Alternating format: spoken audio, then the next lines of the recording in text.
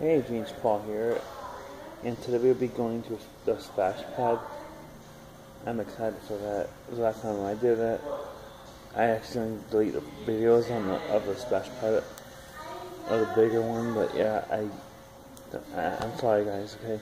So, this is gonna be official. The splash pad is coming up next. Enjoy.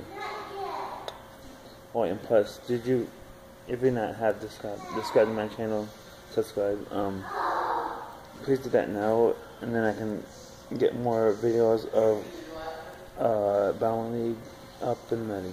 Alright? Enjoy, guys.